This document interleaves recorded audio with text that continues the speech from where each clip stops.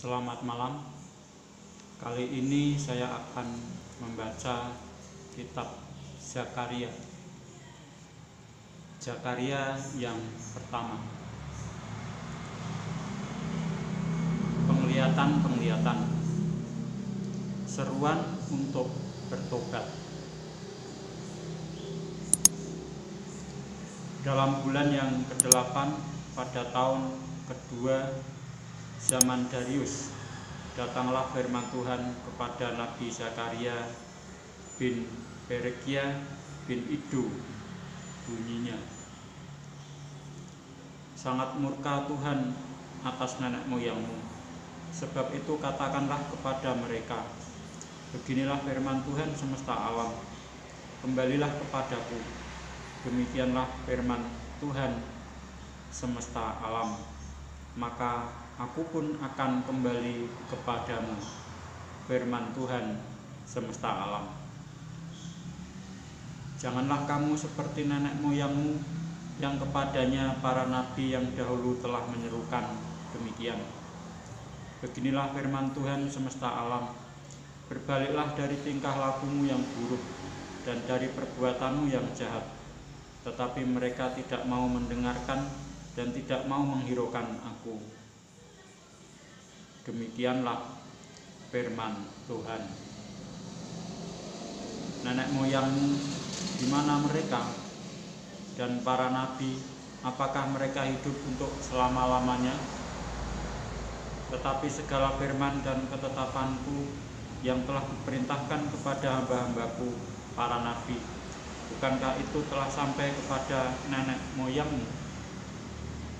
Maka bertobatlah mereka serta berkata, sebagaimana Tuhan semesta alam bermaksud mengambil tindakan terhadap kita sesuai dengan tingkah laku kita dan perbuatan kita. Demikianlah ia mengambil tindakan terhadap kita. Penglihatan pertama para penunggang kuda. Pada hari yang ke-24 dari bulan yang ke-11 itulah bulan Sebat. Pada tahun yang kedua zaman Darius. Datanglah firman Tuhan kepada Nabi Zakaria bin Berekia bin Ido bunyinya. Tadi malam aku mendapat suatu penglihatan. Tampak seorang yang menunggang kuda merah. Dia sedang berdiri di antara pohon-pohon murat yang di dalam jurang dan di belakangnya ada kuda-kuda yang merah, yang merah jambu dan yang putih. Maka aku bertanya, apakah arti semuanya ini ya Tuanku? Lalu malaikat yang berbicara dengan aku itu menjawab, Aku ini akan memperlihatkan kepadamu apa arti semuanya ini. Orang yang berdiri di antara pohon-pohon murat itu mulai berbicara, katanya, Inilah mereka semua yang diutus Tuhan untuk menjelajahi bumi.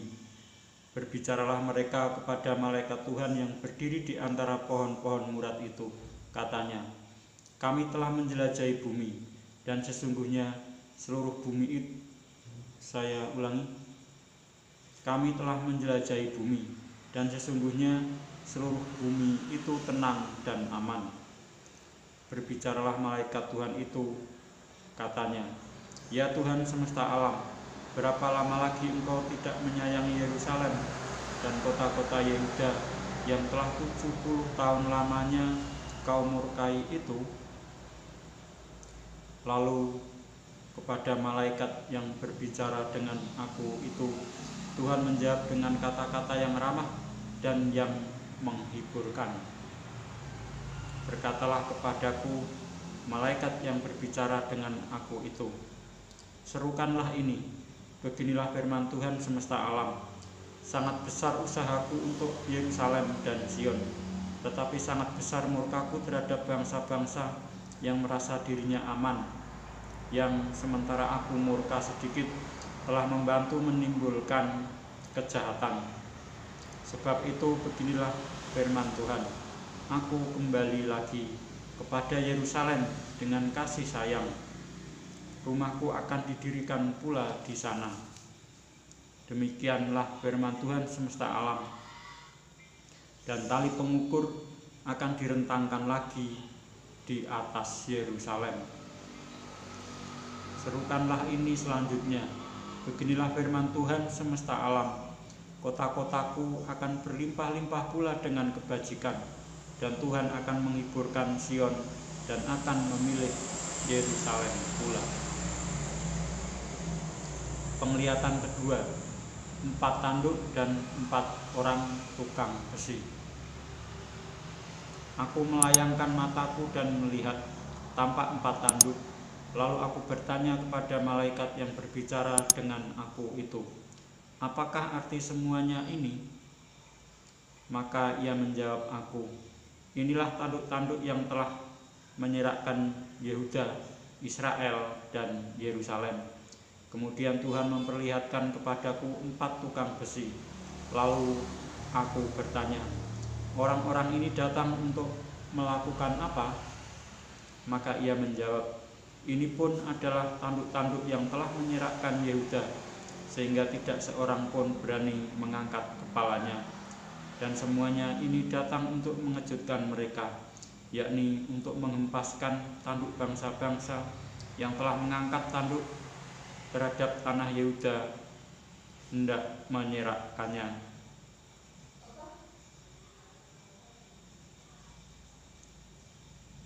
Saya lanjutkan membaca Zakaria yang kedua. Penglihatan ketiga, seorang yang memegang tali ukuran.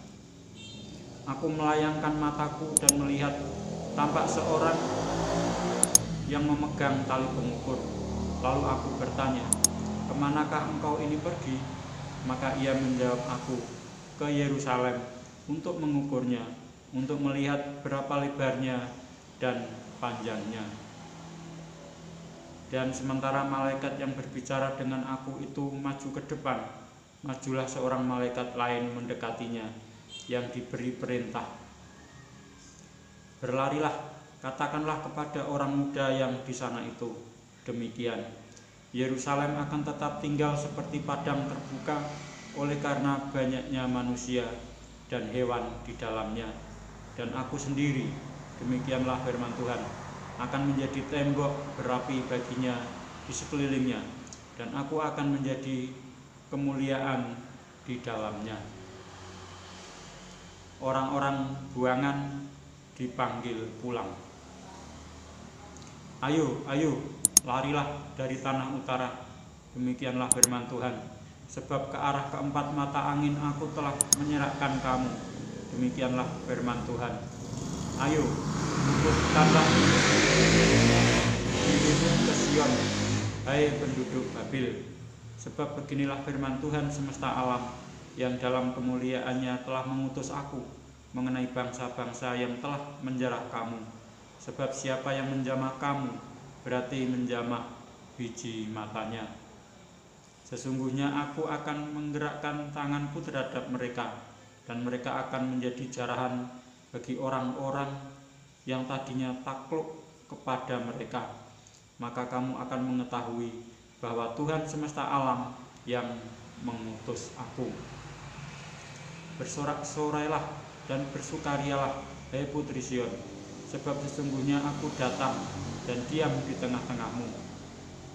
Demikianlah firman Tuhan, dan banyak bangsa akan menggabungkan diri kepada Tuhan pada waktu itu dan akan menjadi umatku dan aku akan diam di tengah-tengahmu maka engkau akan mengetahui bahwa Tuhan semesta alam yang mengutus aku kepadamu dan Tuhan akan mengambil Yehuda sebagai miliknya di tanah yang kudus dan ia akan memilih Yerusalem pula berdiam dirilah hai segala makhluk di hadapan Tuhan sebab ia telah bangkit dari tempat kediamannya yang kudus. Saya lanjutkan membaca Zakaria yang ketiga. Penglihatan keempat, Imam Besar Yosua. Kemudian ia memperlihatkan kepadaku Imam Besar Yosua berdiri di hadapan malaikat Tuhan, sedang iblis berdiri di sebelah kanannya untuk mendakwa dia.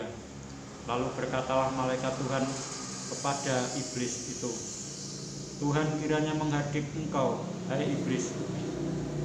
Tuhan yang memilih Yerusalem, kiranya menghadik engkau. Bukankah dia ini puntung yang telah ditarik dari api? Adapun Yosua mengenakan pakaian yang kotor waktu dia berdiri di hadapan malaikat itu yang memberikan perintah kepada orang-orang yang melayaninya. Tanggalkanlah pakaian yang kotor itu daripadanya. Dan kepada Yosua ia berkata, Lihat, dengan ini aku telah menjauhkan kesalahanmu daripadamu. Aku akan mengenakan kepadamu pakaian pesta. Kemudian ia berkata, Taruhlah serban tahir pada kepalanya maka mereka menaruh serban tahir pada kepalanya dan mengenakan pakaian kepadanya. Sedang malaikat Tuhan berdiri di situ. Lalu malaikat Tuhan itu memberi jaminan kepada Yosua, katanya, Beginilah firman Tuhan semesta alam, apabila engkau hidup menurut jalan yang kutunjukkan dan melakukan tugas yang kuberikan kepadamu, maka engkau akan memerintah rumahku dan mengurus pelataranku dan aku akan mengizinkan engkau masuk ke antara mereka yang berdiri melayani di sini. Dengarkanlah, hai imam besar Yosua, engkau dan teman-temanmu yang duduk di hadapanmu. Sungguh, kamu merupakan suatu lambang, sebab sesungguhnya aku akan mendatangkan hambaku, yakni sang tunas. Sebab sesungguhnya permata yang telah kuserahkan kepada Yosua, satu permata yang bermata tujuh. Sesungguhnya aku akan mengukirkan ukiran di atasnya. Demikianlah firman Tuhan semesta alam, dan aku akan menghapuskan kesalahan negeri ini dalam satu hari saja. Pada hari itu, demikianlah firman Tuhan semesta alam. Setiap orang daripadamu akan mengundang temannya duduk di bawah pohon anggur dan di bawah pohon ara saya lanjutkan membaca Zakaria yang keempat. Penglihatan kelima, kandil emas yang berhiaskan dua pohon zaitun. Datanglah kembali malaikat yang berbicara dengan aku itu, lalu dibangun tanyalah aku seperti seorang yang dibangunkan dari tidurnya. Maka berkatalah ia kepadaku, apa yang engkau lihat? Jawabku, aku melihat tampak sebuah kandil dari emas seluruhnya dan tempat minyaknya di bagian atasnya. Kandil itu ada tujuh pelitanya dan ada tujuh corot pada masing-masing pelita yang ada di bagian atasnya itu. Dan pohon zaitun ada terukir padanya, satu di sebelah kanan tempat minyak itu dan satu di sebelah kirinya. Lalu berbicaralah aku kataku kepada malaikat yang berbicara dengan aku itu. Apakah arti semuanya ini Tuanku? Maka berbicaralah malaikat yang berbicara dengan aku itu, katanya kepadaku. Tidakkah engkau tahu apa arti semuanya ini? Jawabku, tidak Tuanku. Maka berbicaralah ia, katanya, inilah firman Tuhan kepada Zerubabil bunyinya bukan dengan keperkasaan dan bukan dengan kekuatan, melainkan dengan rohku, firman Tuhan semesta alam. Siapakah engkau, gunung yang besar? Di depan Zerubabil, engkau menjadi tanah rata. Ia akan mengangkat batu utama, sedang orang bersorak. Bagus, bagus sekali batu itu. Kemudian datanglah firman Tuhan kepadaku, demikian Tangan Zerubabel telah meletakkan dasar rumah ini dan tangannya juga akan menyelesaikannya. Maka kamu akan mengetahui bahwa Tuhan semesta alam yang mengutus aku kepadamu. Sebab siapa yang memandang hina hari peristiwa-peristiwa yang kecil, mereka akan bersukaria melihat batu pilihan di tangan Zerubabel. Yang tujuh ini adalah mata Tuhan yang menjelajah seluruh bumi. Lalu berbicaralah aku kepadanya, Apakah arti kedua pohon zaitun yang di sebelah kanan dan di sebelah kiri kandil ini? Untuk kedua kalinya berbicaralah aku kepadanya. Apakah arti kedua dahan pohon zaitun yang di samping kedua pipa emas yang menyalurkan cairan emas dari atasnya itu? Ia menjawab aku, Tidakkah engkau tahu apa arti semuanya ini? Jawabku, tidak tuanku. Lalu ia berkata, inilah kedua orang yang diurapi yang berdiri di dekat Tuhan seluruh bumi.